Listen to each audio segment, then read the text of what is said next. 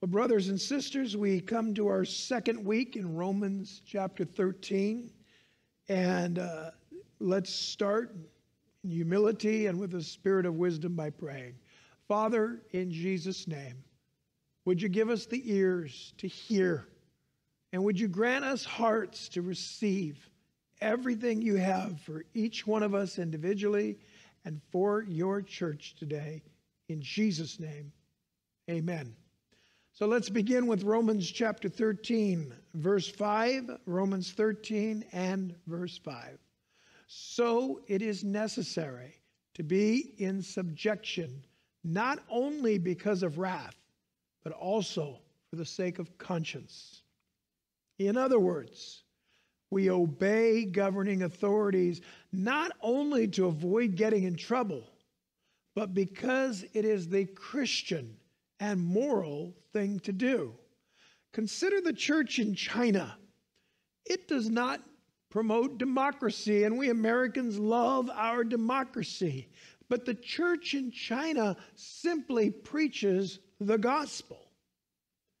The government still does not like or trust churches. However, they cannot claim that the churches in their land are controlled by America or by other anti communist interests or influences. The church in China is influenced by the Holy Spirit, and they are driven by the Word of God. And they focus, they have a laser focus on promoting Jesus Christ, His resurrection, His salvation, and His healing. And the church does well for that. Verse 6, Romans 13, verse 6.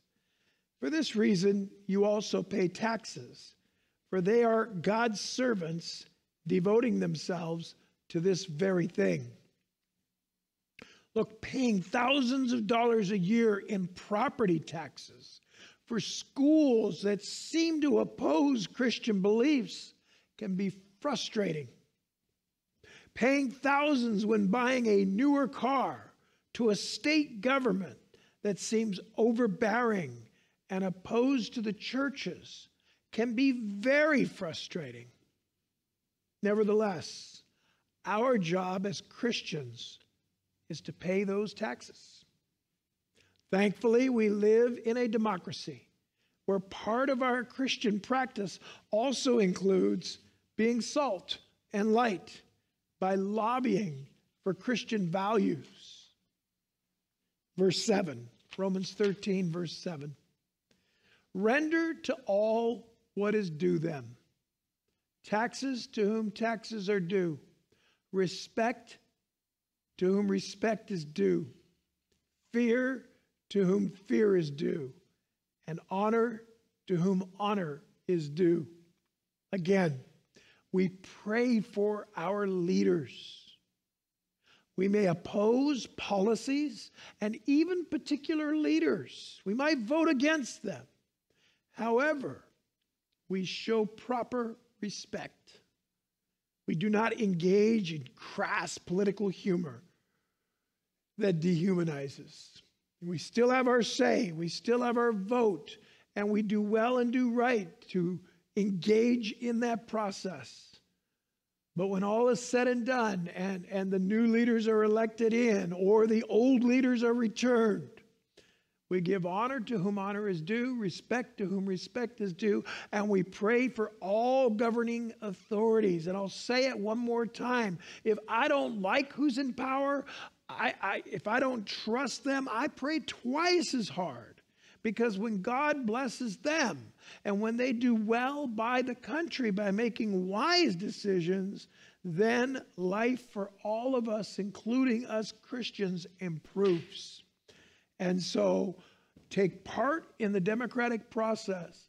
Uh, use the wisdom that God has granted you, but pray for all of those in authority. Verse 8, Romans chapter 13, verse 8, our subheading this time is brotherly love. And I love this verse. Romans 8 says, Owe no one anything except to love one another, for he who loves another has fulfilled the law. So we had a beautiful experience at the Christian school I work at recently. One of our students was struggling, and, and for privacy's sake, I won't go into the details of what was involved. But ultimately, that student came to school for support. And when the student was asked, Well, why, why, why did you look to the school? The response was, This school feels safe. I feel loved and supported here. And by the way, yes, we hear respondents who visit our church the same thing. They can tell that we here at this church, Angle Lake Neighborhood Church, love each other. And we do welcome our visitors. And I, I see the pastor, he's very masterful at making sure to touch base with new people in the church, to get to know their names, and to just even for uh, a few seconds to visit with them and, and to let them know they're loved and cared for. We don't try to impose, but we definitely want to be open and loving. And this is what God calls us to. Of course, we consider Jesus' assessment of what the second most commandment is. This is what he said in Matthew chapter 22, verse 39. Again, Matthew 22, verse 39. And the second is like it you shall love your neighbor as yourself. Indeed, in 1 John 4 7 and 8, we are told, Beloved, let us love one another, for love is of God. And everyone who loves is born of God and knows God. Anyone who does not love God does not know God, for God is love. Uh, some of you might have learned that as the song, Beloved, let us love one another, for love is of God, and everyone who loveth is born of God and knoweth God. He that loveth not knoweth not God, for God is love. Beloved, let us love one another. 1 John 4 7 and 8. And so, let us excel in love.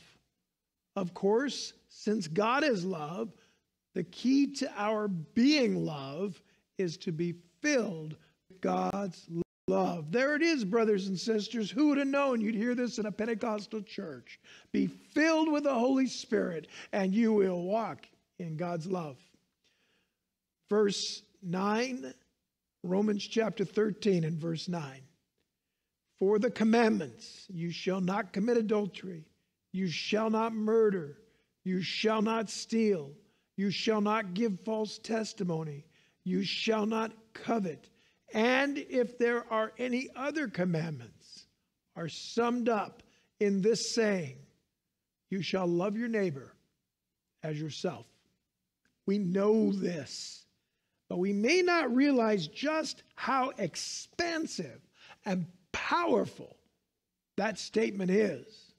The law of Moses includes 613 basic commandments. You know, sometimes I'll ask my students, Do you know how many commandments there are in the Old Testament? And they'll pop their hands up and they'll say 10, 10, 10. And I say, Those are the chapter headings, those are the categories. But under those, there are a total of 613 basic commandments.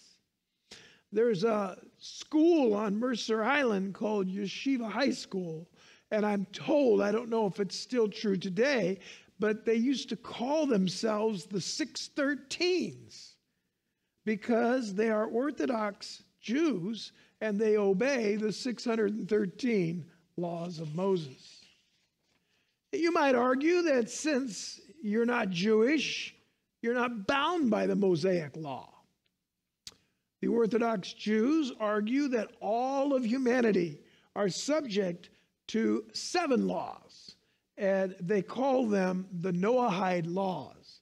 And so I just share this with you. I'll try to be pretty quick about it, but this comes from the Jewish website, Chabad.org, and it lets you know what Jews believe that all of us should be doing, how we should be living. And this is what it says First, do not profane God's oneness in any way. Acknowledge that there is a single God who cares about what we are doing and desires that we take care of his world. Second, do not curse your Creator. No matter how angry you may be, do not take it out verbally against your Creator. Third, do not murder. The value of human life cannot be measured. To destroy a single human life is to destroy the entire world, because for that person, the world has ceased to exist. It follows that by sustaining a single human life, you are sustaining the entire universe. The next command do not eat a limb of a still living animal. Respect the life of all God's creatures. As intelligent beings, we have a duty not to cause undue pain to other creatures. The next command do not steal. Whatever benefits you receive in this world, make sure that none of them are at the unfair expense of someone else. And the next command is harness and channel the human libido. Okay? Incest, adultery, rape, and homosexual relations are forbidden. The family unit is the foundation of human society.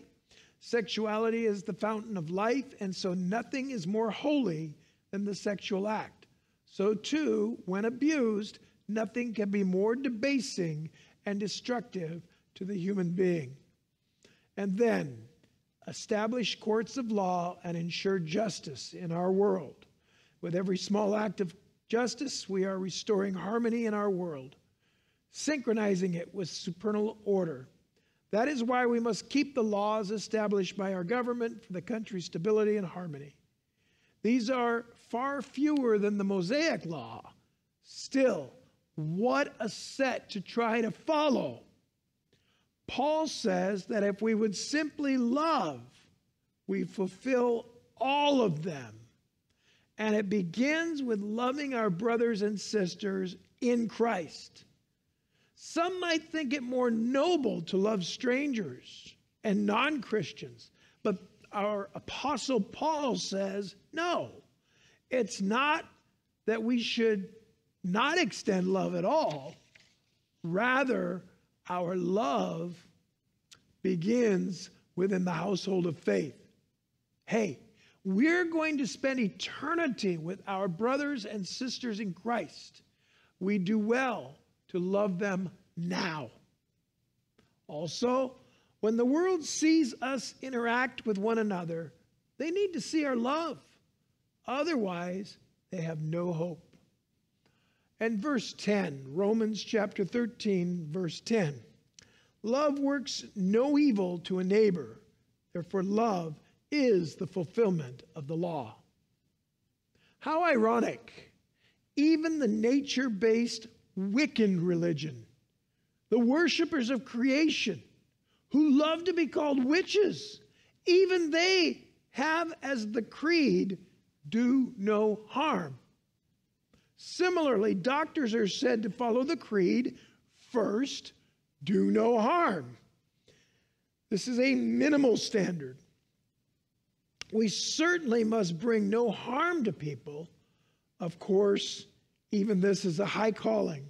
For if Jesus is right that seeking his kingdom is first, then everything we do should drive people towards his kingdom. Likewise, nothing we do should drive people away from God's kingdom. And so, what have we said today? Week one gave us the charge to obey and pray for our government leaders. This week, we were reminded of our most basic charge to love, especially our brothers and sisters in the Lord. When we do, we obey all the Old Testament law. Let's pray. Father, in Jesus' name, there is no way that most of us, certainly not I, could remember 613 commandments. and to understand that those are just the basic commandments of the Old Testament. Even the seven laws of Noah are a bit of a challenge to learn and remember. But God, we can remember Jesus' two most basic commandments to love you and to love our neighbor as we love ourselves. And so, our prayer, oh God, is that you will fill us afresh and anew this day, this hour, this very moment with the Holy Spirit so that we can extend love to our families, our household, and God extend it out to our communities, our schools, and our workplaces. Help us, we pray, in Jesus' name. Amen.